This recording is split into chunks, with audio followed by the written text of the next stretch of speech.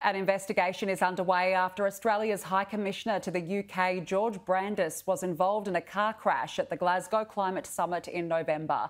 Brandis, who was being driven in a diplomatic vehicle, was trying to catch up Prime Minister Scott Morrison's official motorcade when two Metropolitan Police cars took defensive measures to stop a perceived security threat.